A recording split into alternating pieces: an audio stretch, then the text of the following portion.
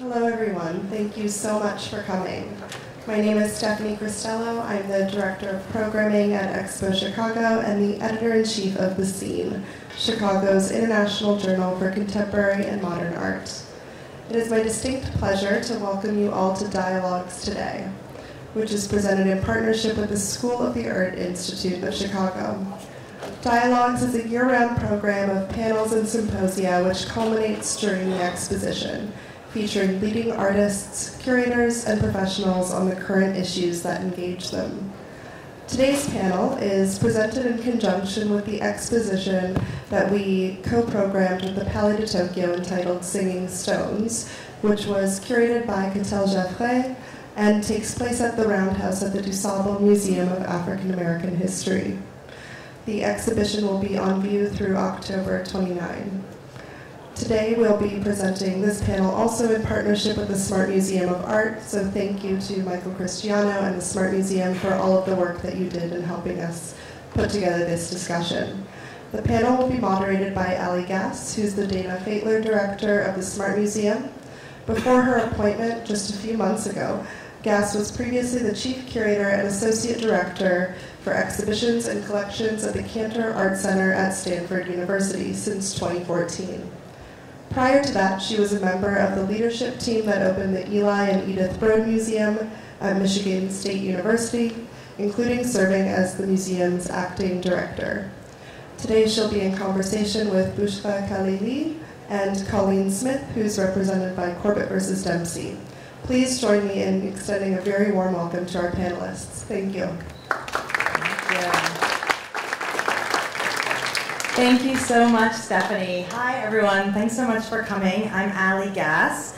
Um, this is going to be a really interesting, I think, and fun panel in the sense that the three of us have actually never really met before, nor have we talked that much. So you get this kind of wonderful moment of really seeing for the first time a conversation that is unscripted in every way, but I think will circulate around topics that we're all really, really interested in. So before I start, I have the distinct honor of giving you a little bio for each of these terrific and very special artists, artists who I, I have admired for a long time, and I'm quite grateful to have a chance to sit here with them. Um, Bouchra Khalili is a Moroccan-French artist born in Casablanca. She later studied film at Sorbonne Nouvelle and visual arts at the École Nationale Supérieure des Arts de Paris-Cergy, sort of. She lives and works in Berlin and Oslo, although, as I've just learned, has a Radcliffe Fellowship and is spending the year at Harvard. Um, she works across a variety of media in film, video installation, photography, and prints. She has shown her work all over the world, notably with the Mapping Journey Project solo exhibition at MoMA in 2016, a really spectacular work as well at this Documenta, um, Palais de Tokyo show in Paris in 2015, and many, many, many more. So I'm incredibly honored to have you here today. Cauleen Smith, perhaps some of you know a little bit better. She's lived in Chicago for what I understand is the last several years. Um, Cauleen Smith was born in Riverside, California. She's an interdisciplinary artist whose work reflects upon the everyday possibilities of the imagination, which is a fantastic phrase. Um, operating in multiple materials and arenas, she roots her work firmly within the discourse of mid 20th century experimental film, drawing from structuralism, third world cinema, and science fiction. She too has shown broadly around the world. Um, most recently featured in group exhibitions at the Studio Museum of Harlem, the Houston Contemporary Art Museum, the Yerba Buena Center for Art, and the New Museum. Um, she has had an installation at the Kitchen and just a uh, solo exhibition at the Foundation for Contemporary Arts. The Chicago Expo Artadia Award was awarded to her, and she's had a Rauschenberg residency. So thank you both so, so much for being here. Um, when I thought about what it meant for us to kind of sit here together and talk for the first time, I thought a little bit about my own background and my own career as a curator of contemporary art, which has really largely been committed to kind of I keep getting these job titles that are asking me to really think about our global condition through the lens of artistic practice and kind of think about how do we learn and understand the world around us through artists. And I think in our world of many biennials and art fairs and curators like me who try to think and partner as globally as possible, the issues around place and nationalism and artistic movement often come to the forefront. And I've kind of had this idea for a long time of an exhibition that I always sort of wanted to do, but always didn't do, um, which I wanted to call Does Place Matter? Thinking about, you know, we tend to fixate so much on where perhaps an artist is from or who their cohort of collaborators is or the ways that we might read work based upon an understanding of what we think we know about that, that biography or that nationalism or that place. Um, in many ways, the exhibition at the Palais de Tokyo starts from a notion of place. We're partnering French artists with Chicago artists. We're doing it in Chicago in a very unique and particular architectural setting. So I wanted to really spend our time together thinking about the value of looking at place in terms of the way it might or might not actually influence work, actually effectively influence a reading or a response to work, and at what point should we throw it out? As not necessary, and thinking about things like place as mundane as the fact that Cauleen is leaving Chicago and moving to LA, and there's been some writing and thinking about mourning about that, or more serious topics that all of us deal with about the subject matters in works about people who are forced to leave a place or people whose lives are very complicated because of the place that they're in. And to me, these feel like some of the most urgent topics we could be talking about in the world right now. So I thought I might start by asking each of you to think about, before we get into how place does or doesn't impact the work or the work is about places and things that happen there, how complicated of a question is it for you for someone to ask you, where are you from? Is it a complicated question at all? I'll turn to you, Bouchra. Um, well, I'm often asked the question, uh, but I keep answering that I'm from Casablanca. Yeah. Um, and it's quite. Um, um, I mean, I like referring to the fact that I am from Casablanca also because of the history of the representation of the city mm-hmm. that has actually nothing to do with the city itself. Yes. So I come from a place that exists in imagination, yes. Uh, in specific representation, uh, shaped by the West, by yes. the way. Uh, but the place I come from is completely different because it's also within the um, Moroccan history, mm-hmm. uh, a place that was made and constructed and developed by migrants yes. from all over the country. Uh, even though the, the story of the city is very much related to the colonial history, mm-hmm. because it was before an invention of the colonial power of the French colonial regime. But it was completely appropriated by the people who moved to Casablanca throughout the 20th century, literally from all over the country. Right. So I come from a place that has this dual and oppositional uh, and very conflicted story of being a sort of contested legacy of the colonial history and at the same time the site from where the resistance also organized against the colonial regime. So that's why I often answer, I'm from Casablanca. yes, and uh, it's such a beautiful answer to that question and I think the ideas that I had talked about in my Does Place Matter was what are the assumptions we have about a place because we hear a constructed version of that versus what is the reality of the lived daily life there. So I think that is sort of a perfect answer in many ways. All right, is it hard for you to say where are you from? No. It's it's amusing though because if you I grew up in California, so it's a it's a place upon which a great deal is projected and a place where projections are the site from which they're produced and these images that you're talking about, like the, I mean, the moment you say you're from Casablanca, I have like very, very, it's like a strong trigger about what that means and doesn't mean, which you actually run into, you know what I mean? So I'm from a place that uh, when you leave California, the first thing people want to know is what's it like there, as if you can't actually go there and right. visit. or as if there's like a singular experience of being Yeah, but in, in some ways it's true. Like it, there is this other part of California that you can't actually ever visit. That, yeah. because it doesn't exist. It's a projection. Um, and so I, I, I mean, I'm like endlessly fascinated with the way that functions as a strange kind of currency within the U.S. or in North America, just being from that particular state. I agree with that, having just moved here three months ago from California myself. Um, and it's a hard question for me, frankly, these days when people ask me where I'm from Yeah. for different reasons. Um, but just going back to you, Cauleen, I think so much gets talked about just from my very outside perspective of you being a Chicago based artist. But the answer to your question is that you're from California.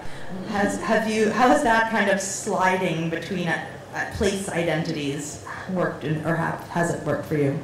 Oh well, you know, I mean, I, I love the city of Chicago, and I this is a city that I've chosen to live in. Whereas I've lived in many other cities, Austin and Boston and San Diego, and and those are places that I went to live in to work because I needed work.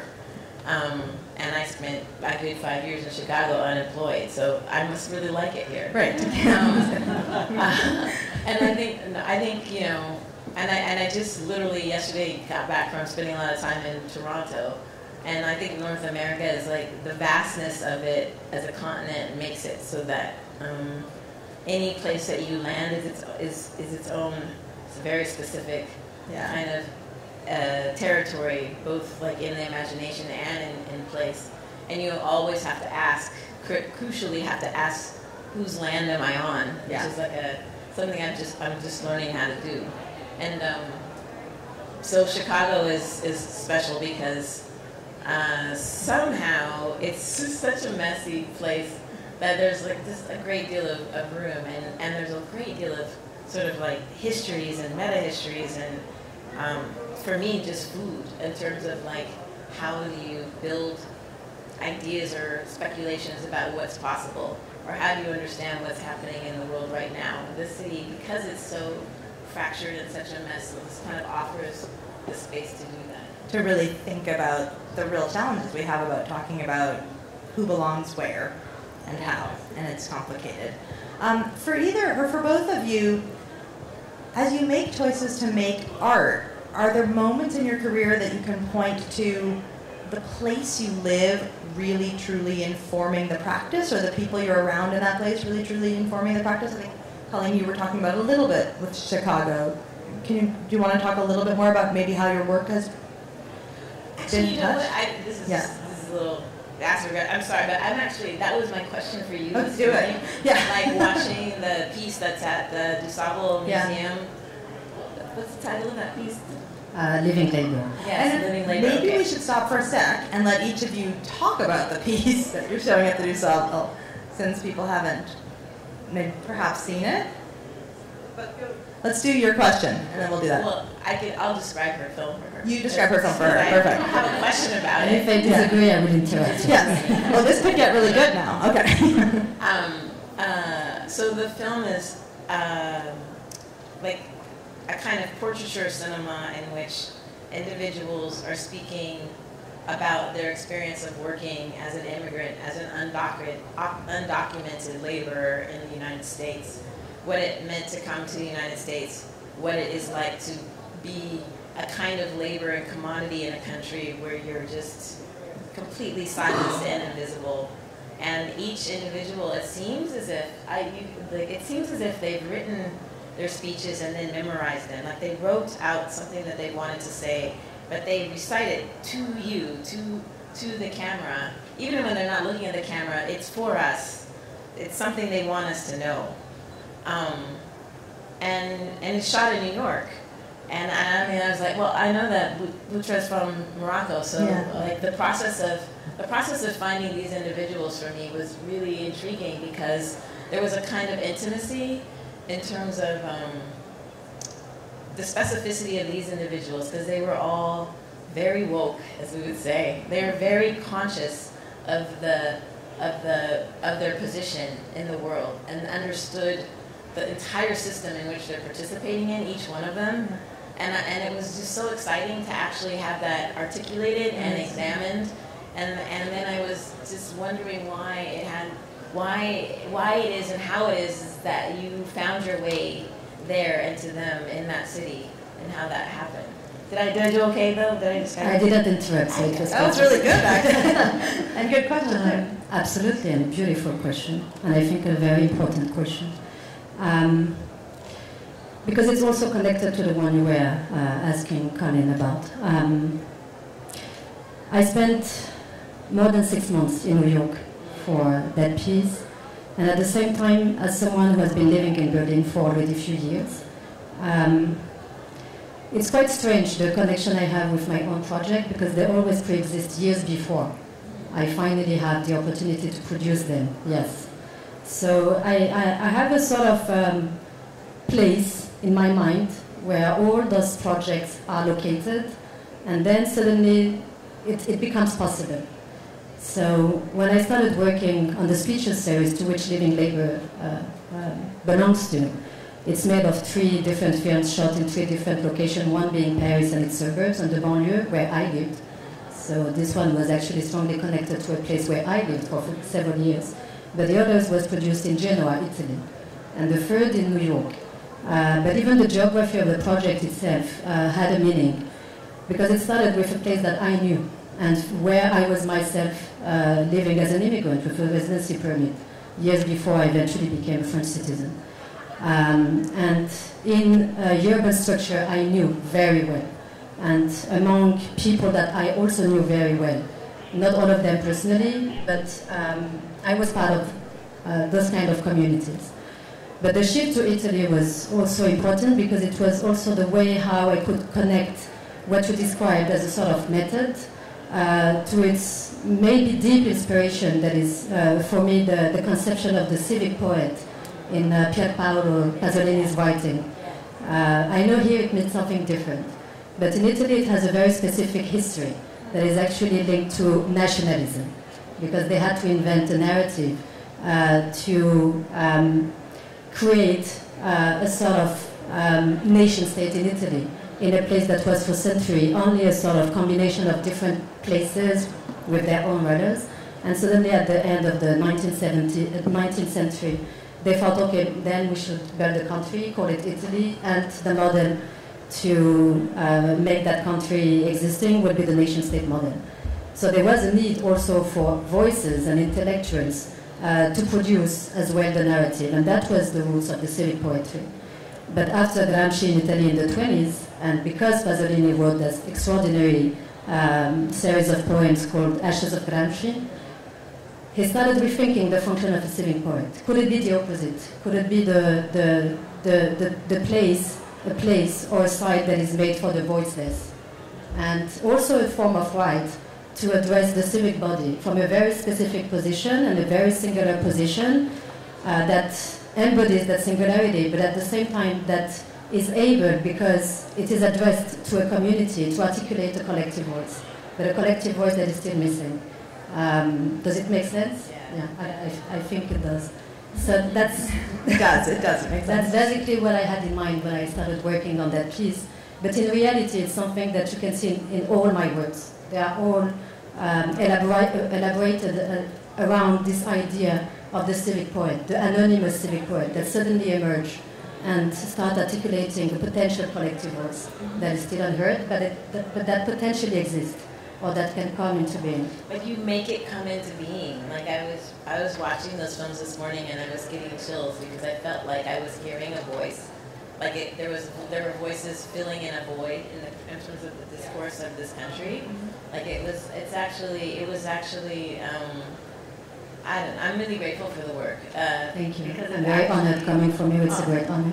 Um, because it, it really, I just felt like I was hearing something that I needed to know existed, and that for some reason, as Americans, as like having the privilege of citizenship makes a certain kind of voice inaccessible, maybe willfully so. Maybe I'm just not listening or paying attention.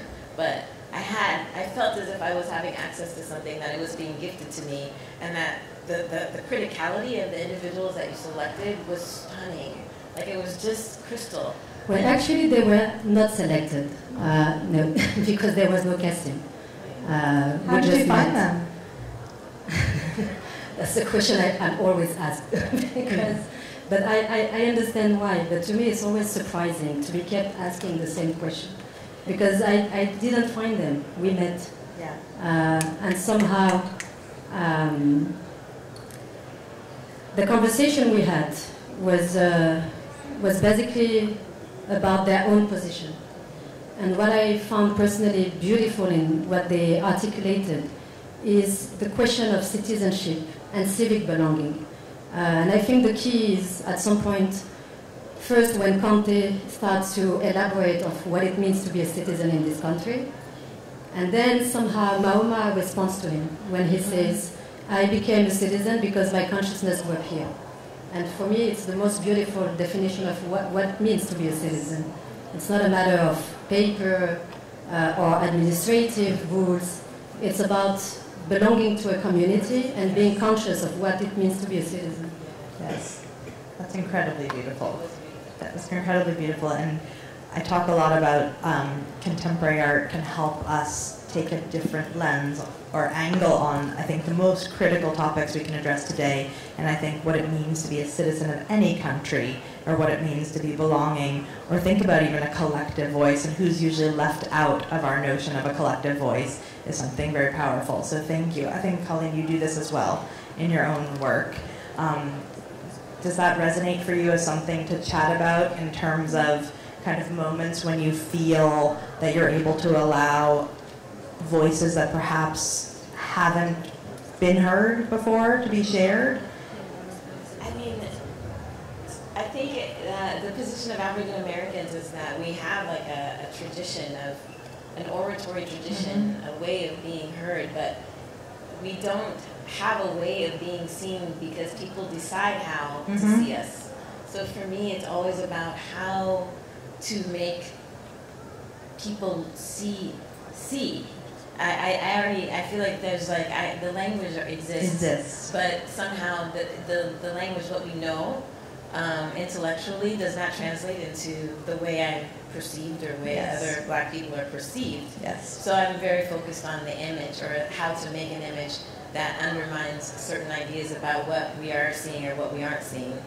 Um, so it's a the stakes are yeah. like from that position are a little bit much more about the image and but even though I write manifestos all the time, so I was really into that. I'm always trying to boss people around, but it's like much more in the work about the image. So. No, I think that's very powerful. Yeah, because well, what I also found extremely moving is the sort of very subtle uh, form of resistance that your piece suggests within the exhibition. And, it's, uh, and at the same time, it is immaterial. It's, it's just about being part uh, of a very specific site uh, with some minimal rules, but that are more uh, like a form of invitation than uh, authoritative in, the, in what they propose. But in the fact that you also invite people to speak out. The simple gesture of speaking becomes in itself a form of resistance because there, there is a power in the speech. Um, that cannot, of course, replace let's say, articulated uh, militancy. Um, but it is also very much needed because it is also where it connects, it connects with the uh, powerful potential of resistance in poetry as well.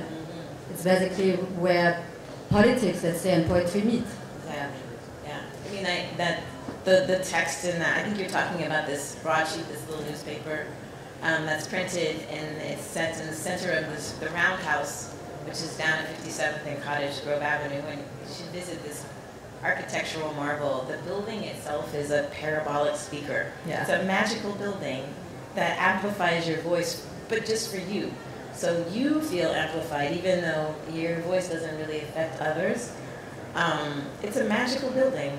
And um, so the broadsheet has some instructions about how to get to know the building and what it can do, and then it, and then if you're at a loss for words, it has some poem, like some words written by a poet. Some she called them um, mantras or affirmations, and they're just very simple things to say out loud. Something that you might be willing to say to another person, like kind kind things to say, um, in case you're at for a loss of words. So the idea there is, I guess using poetry. I mean, I didn't know there were there were no, there's no other kind of language that can do that. That can do that. Yeah. You know.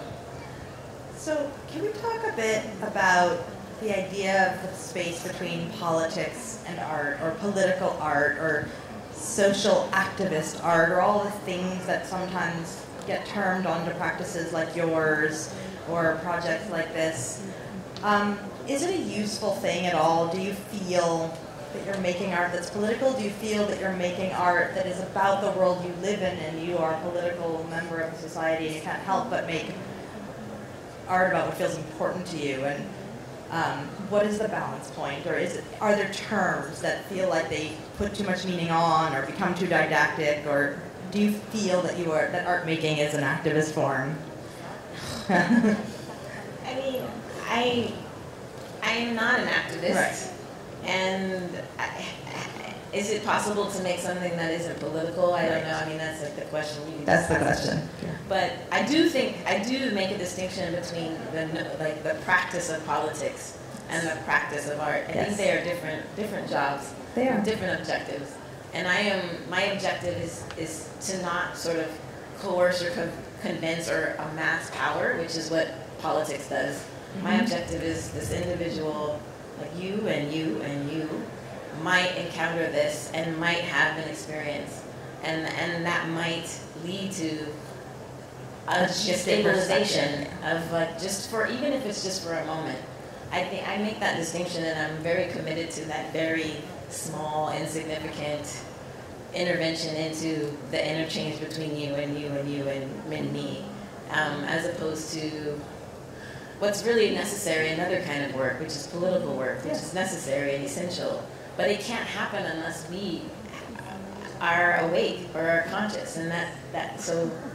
I'm just doing my this part of it, and and I'm trying to make it difficult for the politicians to use. Quite honestly, Yes. like it's dangerous. Like if you make something that's useful to a politician, then it's it, that's you've made a weapon. Yes, I totally agree with that. And I think we were just talking earlier about why I really love university museums, and I think it is very much because there it is a space of inquiry and an attempt to impact, and sort of like a seminar in a classroom to think about things from different points of view.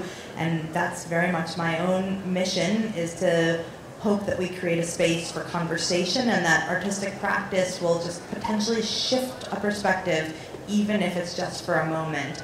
And to me, the really greatest, what we would call political art, isn't political art. It isn't something that is didactic and can be used, as you so beautifully said, as a weapon or for a very articulated purpose. So I think that was a wonderful, wonderful way of describing it. So thank you. I'm going to turn the same question to you. Um, I, I absolutely agree with you. Um, to the point that I'm, I'm not even sure that I'm an artist actually. Yeah. I, I, I don't know. I, I'm, it's quite difficult to explain what I do exactly.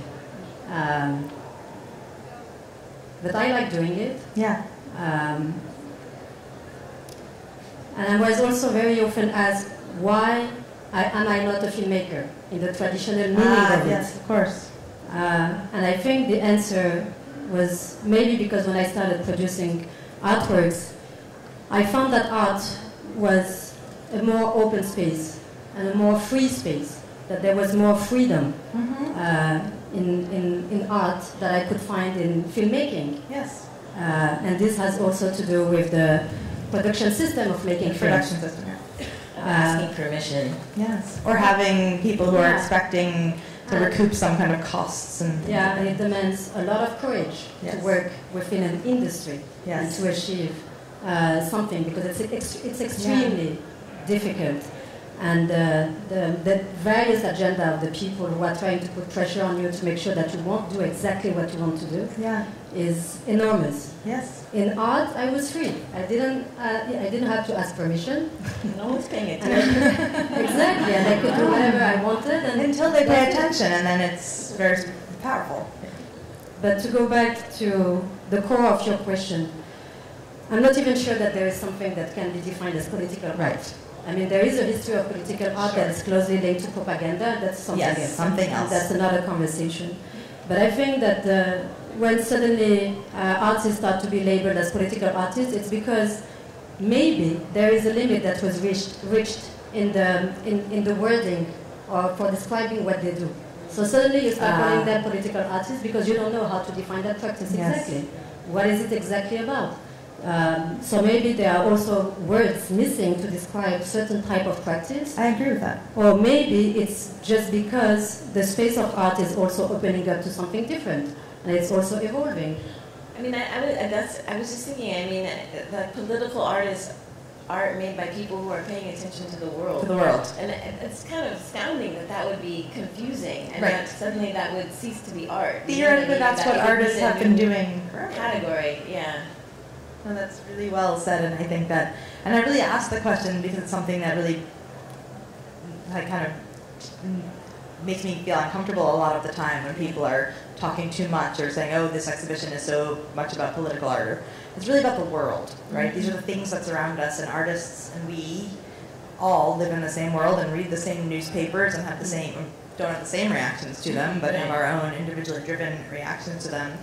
So let's talk, let's shift for a second and just talk about, um, since we're talking about place, one of the kind of things that has really taken place in this global contemporary art world that we pay a lot of attention to is biennials, art fairs, um, art festivals, things like that. And both of you have been part of a few recently, the Whitney Biennial Documenta, here at the Palais de Tokyo project at the DuSable Roundhouse um, as part of an art fair in some ways. And I think art fairs are getting much more complicated in important ways in questioning things like the market. But I want to ask, from, from where you sit, how useful are the biennials or how much do they give you impetus to make work or a moment to see yourselves in context, to be in dialogues like this? Um, so much is being talked about about the kind of eh, perva- pervasiveness of the biennial model or the fair model. How do you feel about that, or how, how has being part of them been useful, or has it not been? Yeah. you were part of that. Um, as I was saying before, often exhibitions for me are opportunities to produce artwork that I was willing to produce for many years. Yes. And it's actually the case even for Documenta. Yeah. Because the, the, the work that I'm showing, or that I was showing in Athens and Kassel, was actually a project that I started developing six years ago. At that time, there was no Documenta in Athens in, into question. Um, so it was really about the opportunity, to finally have the opportunity to produce something I was uh, thinking of and reflecting on and researching for literally years. Um, so that's more the way I, I actually see it. Yeah. Like, it is the time, it is the opportunity. Um, I must say I'm, I'm, I'm also maybe very lucky mm-hmm. because I was often invited by curators that I respect a lot yes. and that show a lot of respect to the, to the work and to the artist's work. Very important. Absolutely important because it's actually the, one of the bases of the collaboration. Yes. Because it's also above all a dialogue. It's a dialogue. Yeah. And a dialogue without respect is not a dialogue it's an authoritative statement. So that's also the. That's maybe why I'm also very lucky. Yeah. It's the kind of collaboration I, I actually often had. What have been your processes for um, accepting an invitation to be part of um, Documenta, let's say? And someone, an, a curator that you know well, or someone comes and you sit and there feels like there's a real connection of an understanding of intention and then you're willing to move uh, forward? I didn't know the curator who extended the invitation. Uh, we had a conversation in Berlin. Yeah. Um, that was not very long, but that was very important. Yes. Because I, I could talk about the project I was uh, working on that was connecting Athens with another story that happened elsewhere, yes. but that resonates or both resonate with, uh, with each other. I mean, it was very simple and very natural. It was a conversation. Yes. Uh, basically. Yes. What about you? How? You know, I'm, this is new, new for me, and um, I think international biennials for me, or maybe a lot of American artists, are really important because getting off this continent yeah. can be really difficult, uh, particularly depending on who you are and what kind of work you do. There are the various kinds of ways in which certain kinds of work is it's assumed that it will have currency around the world, and then other kinds of work it's assumed that it won't. Yes. And so I think it's really crucial to try and find ways to to make work travel off this continent Mhm. and find its way where it needs to go, you know. And the bi- the international biennials were a way for that to happen. And then American biennials are, I think of as like the prom. The prom, like, the, Yeah. like the Whitney Biennial. Yeah. It's like the prom, and it's just fun that you get invited. That you you know, it's like you're the freshman and the senior asked you out. Yeah, It's it's like- totally awesome. That's kind of a perfect way to, perfect way. And that, and that was sort of why I started with talking about my like long-standing idea, unfully formed, about this idea of does place matter, and it had a great deal to do with kind of the way we think we understand work because we come from the same place as that artist, or we think we know from news media about what that place is like. And that as you get out into the world and you share more dialogues, it's a much more complicated story, of course. And so, like in its best case scenario, I agree that international biennials do that. Yeah, but maybe also the all this debate around the uh, multiplication of biennials is also that many of them, or new ones, are happening in places that were not on the contemporary art world map before, Mm-hmm. uh, like Dakar or Yes. Bamako Yes. or even Sharjah, Yeah. uh, that has become an extremely important place Yes. in the in the Middle East for the, the reflection on contemporary art and its meaning and, and resonance. Um, so maybe the question is asked now because there are all those places that are somehow competing with Yes. older and Westerner Yes. events. Decentering, which The decentering is really important. Exactly. And Sharjah, I think, has been one of the most interesting biennials of any over the last several, or however many years apart it happens. Is it? It's a biennial. 15, 20 Yeah, years? yeah, yeah, yeah. It's been incredibly interesting. Yeah, I think it's something worth worth really thinking about. Dakar. Or Dakar, I Dakar haven't- is Yes. extremely important. extremely important. Or Bamako for photography, extremely important too. And there are all those places where, as well, artists who don't have necessarily the chance to travel Yes. can see artworks by their colleagues from literally over the world, Yes. also showing their work, Yes. entering into conversation with the artists invited, the curators invited. It's extremely important for the for the uh, communities of artists in all those different places Yes. to be part of the conversation and also to be the center from where the conversation can start. Absolutely. Absolutely, because in those places where there's not perhaps a strong gallery system, these artists are not Even art schools. or even art schools or Like in Morocco, there are things we two. think of here. Yeah. No, it's an incredible thing, and I think that that does feel very important when we think about what does it really mean to think of a global art world. It's not just about galleries from the countries we know well coming together to sell art, although that's important as well. Um, but I think you're getting at something really, really interesting. Um, I'm going to check our time because I want to make sure we have some time for questions. Um, are there other things that the two of you really felt like you wanted to say about your experience of being part of this exhibition? Um, what did it feel like to be invited to be part of this, and how did that feel like it drove or perhaps extended a possibility for your practice in a different way? I, I, I was really, I really enjoyed emailing back and forth with Katell because um, she has a really light touch with how she asks you to think about making work, you know. Yeah. So she just said, "Well, just go see the site," which I'd already. Yeah. I mean, I, I, I, I'd, I'd, um, when I first moved to Chicago, I just got very lucky and snuck into a tour of the Roundhouse six years ago. It's an amazing And, and it still smelled like hay, and and and and it was, it's just a glorious building. And at that moment, I was like, I really one day, I just really want to something to happen here. Yeah. So um, when Katell and I sat down and spoke, and I didn't know that it was she was thinking about the roundhouse. I had no idea.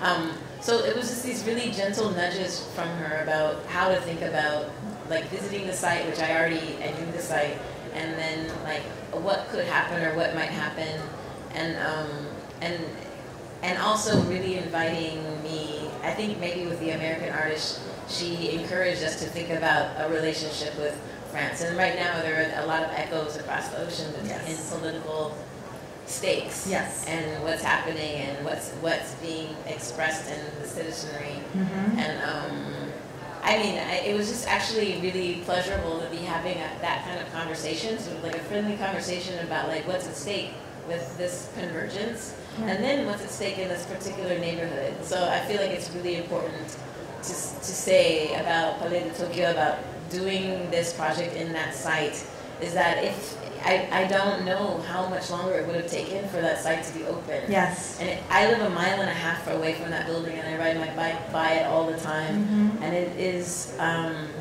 it was really wonderful Tuesday night to see the opening and to see people who also live in that neighborhood see this space in this way, um, delivered and presented with such care Yes. uh, and respect.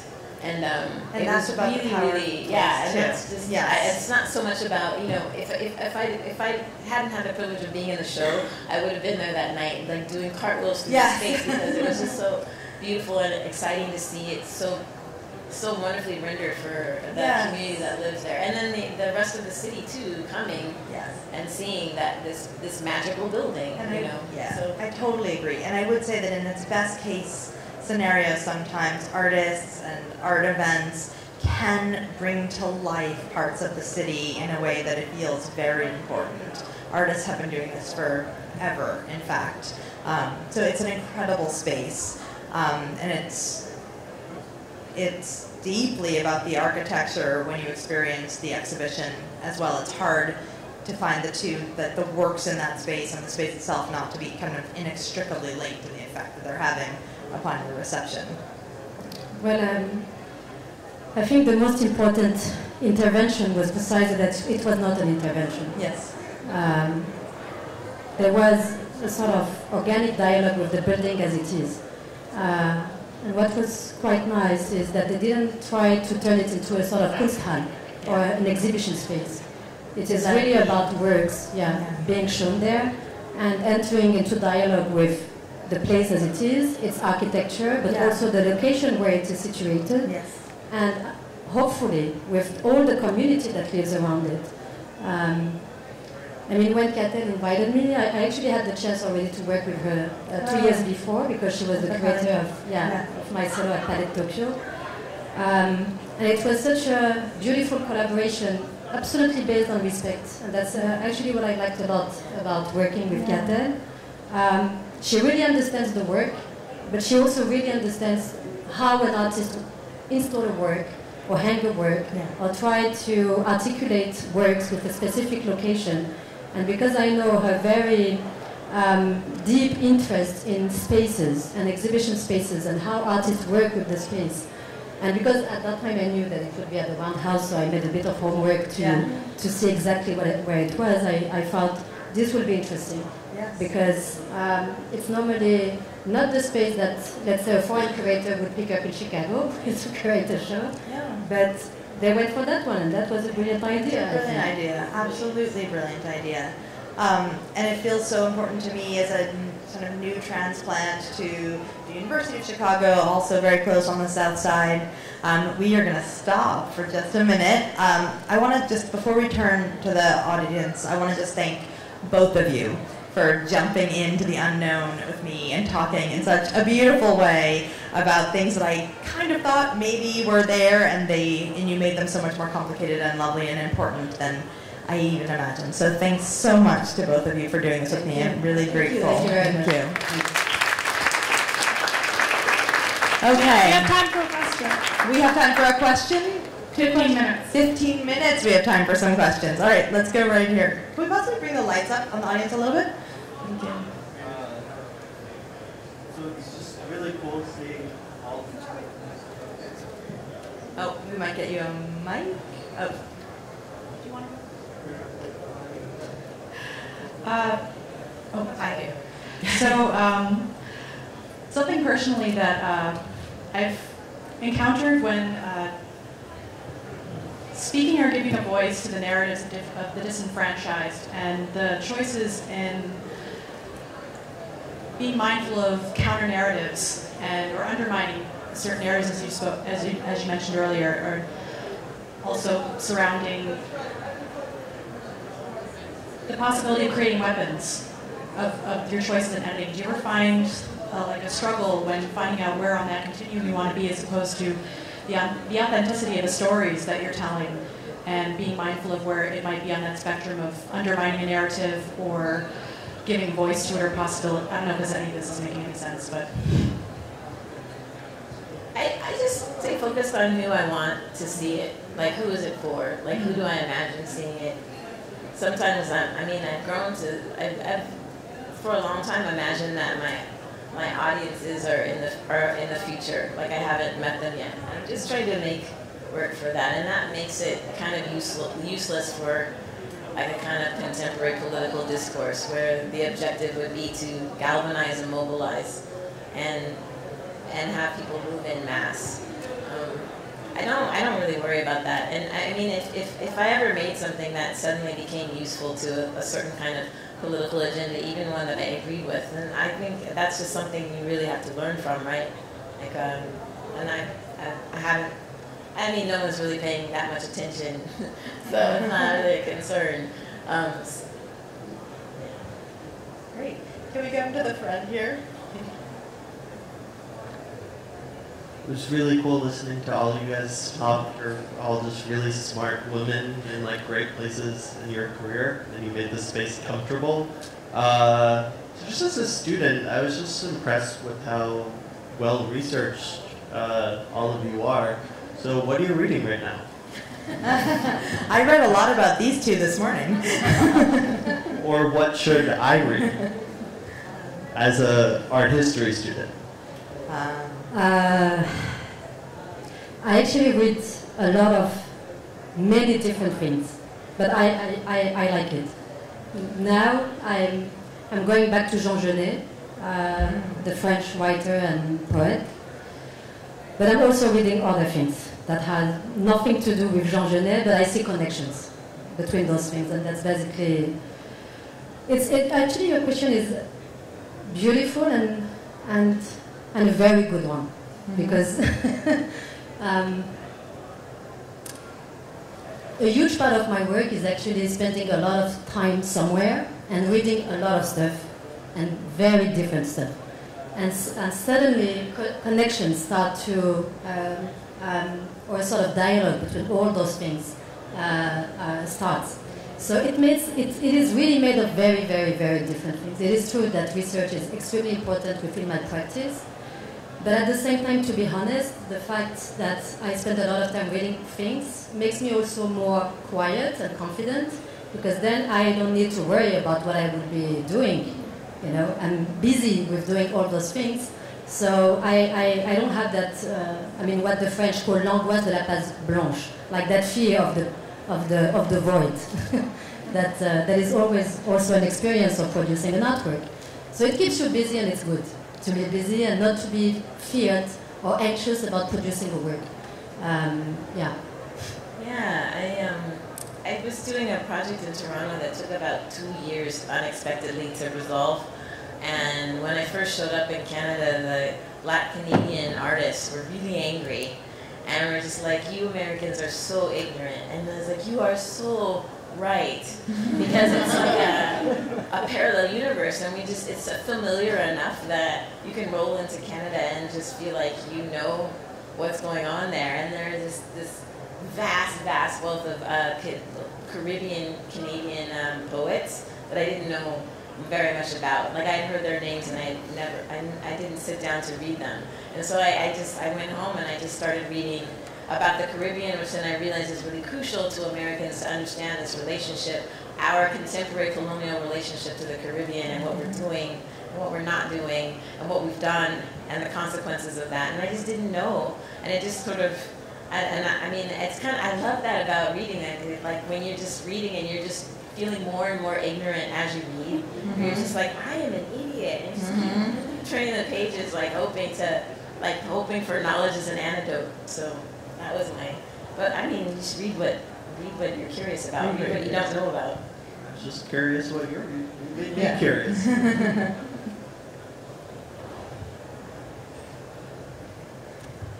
Hi, my name is Layla. Um, I actually uh, came here from St. Louis to see this. Um, this was a very stimulating conversation and it really reflects on like what I'm doing in my own uh, practice as an artist. I'm focusing on identity as well. Uh, this question goes to uh, mainly the Bouchra. Um, so my question is, uh, so you're from Morocco, so, well you said Casablanca's Morocco. So Morocco is in the African continent, but then it's also uh, associated with being the Middle East. So uh, with that, do you define being African and Middle Eastern, or you could you could ask this a lot often? Um, I'm very curious to know like what I don't know how you identify or how you merge those two, I guess, con- or regions. Actually, your question is, is as, as much about geography, geopolitics, and therefore history. but I ended up answering the question for myself, saying that I'm a Creole. Uh, because the history of Morocco is so complex, um, and it cannot be defined by uh, the belonging to the African continent or the great, the so-called great Middle East. The fact is that Morocco is an extraordinary combination of people from various cultural backgrounds. The importance of Amazigh culture, uh, Arabic culture, uh, Jewish heritage, the immediate connection to the European continent. Uh, I mean, all of this is so strong and exists so powerfully in the language itself because my mother tongue is Moroccan Arabic, and Ar- Moroccan Arabic is not Arabic. It's basically a sort of Creole that is in itself um, an extraordinary combination of uh, Arabic, Amazigh languages, uh, French, uh, Spanish uh, in the north of Morocco, and now even English in Casablanca. because um, it's a sort of dynamic um, that is incorporated in, within the language itself.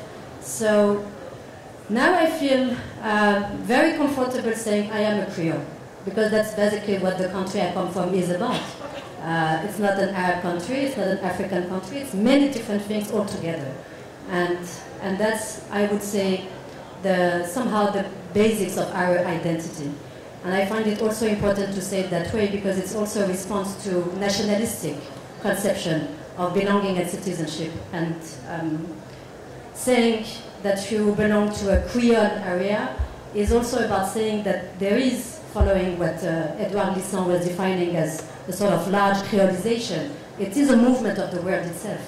And this exists in Morocco and in many different places. And it's probably not by chance if my work is also strongly connected to, um, as an example, the history of movement of independence in what, that, what was called at that time the Third World, because it was paradoxically also a sort of creolization movement, because people were meeting, they were exchanging ideas, they were supporting each other, they were also inventing a sort of language to relate to each other. And it was completely rethinking the geography um, uh, and the idea of belonging that was anyway strongly connected to the colonial history. So emancipation has also uh, to be a, a, sort of emancipation of the conception of what is geography, and therefore what is belonging. Um, so that's why I, I, I, actually say I'm a Creole. As simple as that. Good question and good answer. Absolutely, very good. Question. Thank you. One more question. Another question. Right here. Uh, I guess my question is also kind of directed toward Bouchra too. Um, I'm recently interested in the idea of agency in art making, and um, and you were talking about civic poets, which I think is a very beautiful idea, and just wondering, like, uh, from your perspective per se, uh, what's your um, what do you see as agency for civic poets um, in your video? It might be pretty self-evident in your video, but I haven't seen it yet. So just wondering if you could maybe talk about it a little bit, and also the agency of the video to itself as well. Thank you.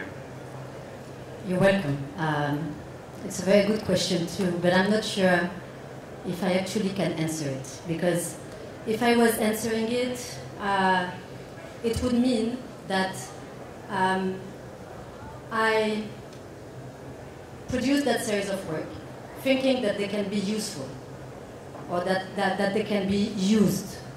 Um, and that's not the way I develop projects. I, I rather see the connection between an artwork, a site, and viewers as a series of potentialities, of things that can become possible. It doesn't mean that they will happen, but it's essentially a proposal that I'm extending or making. Uh, and going back to, the, to, the, to that Pasolinian conception of the civic poet, I think it can be even extended to an art space. An art space can be also a civic space, depending of the proposals that are made there, mm-hmm. and depending also of the dialogue that viewers can have uh, with artworks. So it's, it's more a sort of proposal and individuals react to it. It can have no uh, impact at all, or it can also uh, conduct, and it's actually what you were saying before, um, viewers and individuals experiencing the work shifting their perspective, or at least starting saying things maybe differently. Maybe it won't change the world, and probably it won't change the world, uh, but at least it can suggest other perspectives. Um, and that's, I think, also what, what an art space is about, um, producing those possibilities of new perspective or other perspectives uh, that can be met by um, viewers within that context. I, I hope I answered your question. maybe one last question if we've got one.